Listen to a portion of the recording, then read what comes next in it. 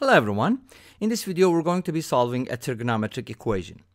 Tangent 2x equals tangent x. And we're going to be looking for all solutions, the real ones and also the complex ones. So that's going to be very comprehensive. We're going to be looking at this equation from different perspectives. I'll be presenting two methods and let's get started.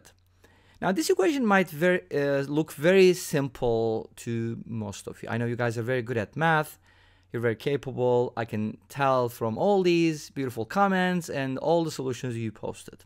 They're amazing. But I wanted to show you, using this problem as an excuse, I wanted to show you a couple different fun things. So let's start with the first method. For my first method, I'm going to be using a formula for tangent 2x, which you should know if you're studying trigonometry. And if you haven't studied trigonometry, I, you should start now. Why not? 2 tangent x divided by 1 minus tangent squared x. By using that formula, I can basically set up an equation and let's use substitution. You know, substitution is my one of my favorite methods. So let's set tangent x equal to, how about u? Okay, from here we get the following. 2u, that was on purpose, right? Divided by 1 minus u squared equals u. And now let's cross multiply this equation. And from here we get 2u equals u minus u cubed. Don't worry, it looks like a cubic, but it's very easy to solve. We can go ahead and put everything on the left-hand side. u cubed plus u is equal to 0. Now, the trivial solutions of this equation are kind of like, you know, very easy to find, but I want to talk about something that is not so trivial. So u cubed plus u is equal to 0. And let's go ahead and factor out a u here. And we get the equation in the factored form. From here, it's easy to say that u is equal to 0, but u is tangent x. So what does this imply?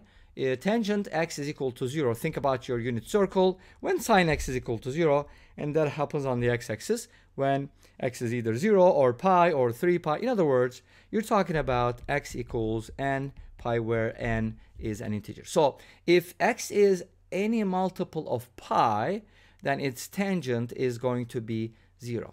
Now, if you think about the original problem, go ahead and plug in pi, for example. Tangent 2 pi is 0, tangent pi is 0. Uh, you can plug in any number from this interval and you're going to get the solution. So that's the trivial solution, the real deal.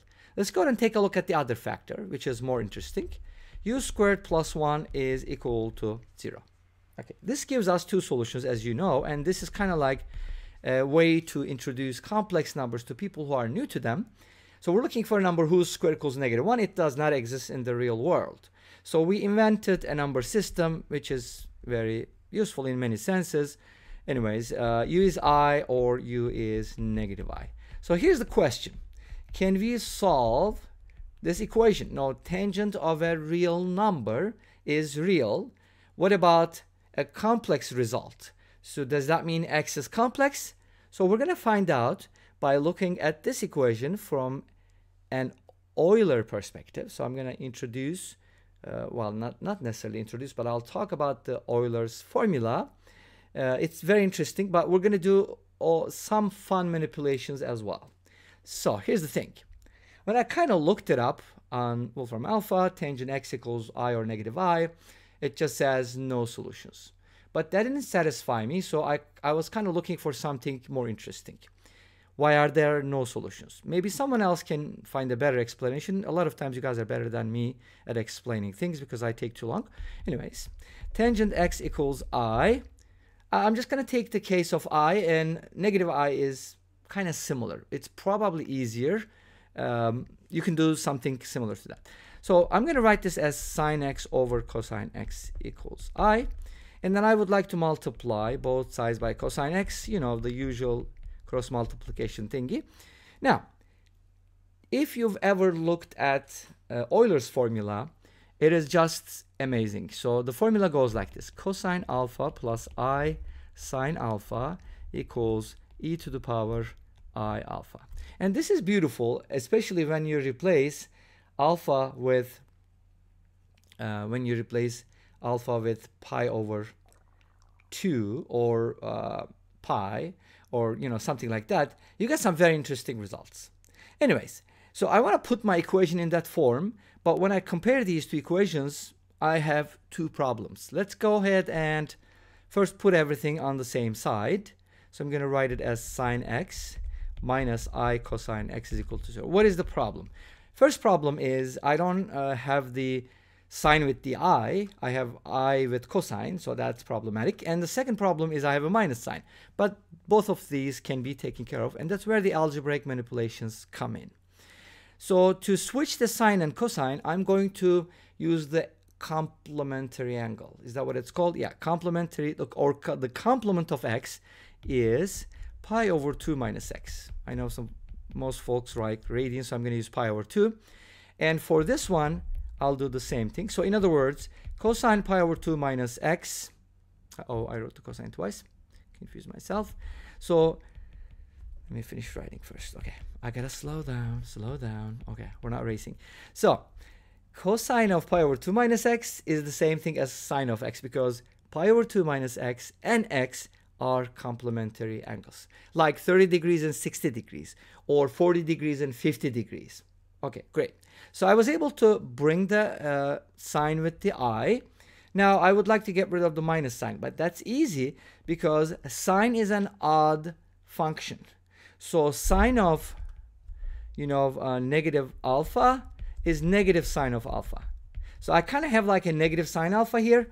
By negating my angle, I'm going to be able to uh, get rid of the negative sign. But cosine is even, so even, odd, everything will be taken care of. If we replace pi over 2 minus x with x minus pi over 2, so we can safely say that, hey, this is equivalent to cosine of x minus pi over 2 plus i sine x minus pi over 2.